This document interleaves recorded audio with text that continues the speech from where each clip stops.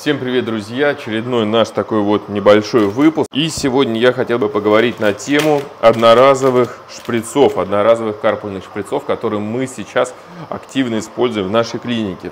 Мы сейчас вообще перешли на всю почти одноразовую продукцию. Начиная от шприцов с анестезией и без анестезии. И мы перешли на одноразовые лотки. То есть мы просто закупили там несколькими сотнями вот эти вот все шприцы и лотки. А, очень, кстати, удобный. Я могу сказать, что работает под микроскопом. Зеркала достойные, а, зонды тоже достойные. Можно было бы, конечно, поострее. Поэтому всего достаточно для того, чтобы осуществлять осмотр полости рта на первичном приеме у пациента. А, про шприцы давайте сейчас поговорим. Мы используем вот такие вот одноразовые шприцы. Они так всегда туго открываются. Просто обычный одноразовый шприц. Сюда загружается карпула для примера. И давайте сейчас возьмем даже карпулу с вами.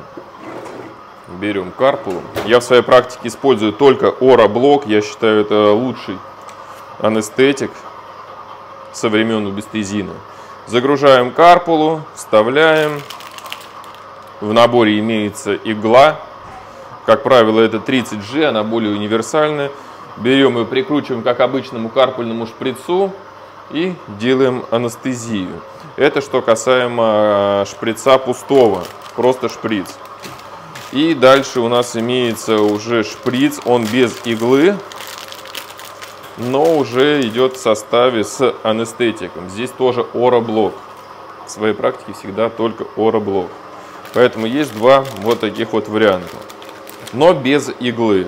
Пожалуйста, ороблок 1 к 100 тысячам. Вы можете выбрать разные, э, можно 1 к 100 тысячам, 1 к 200 тысячам.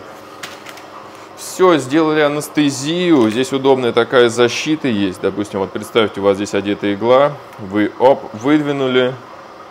Уже никак нельзя уколоться иглой. И просто отправляем в утилизацию. И с этим то же самое. То есть все, пожалуйста, выкинули на утилизацию. Очень удобно.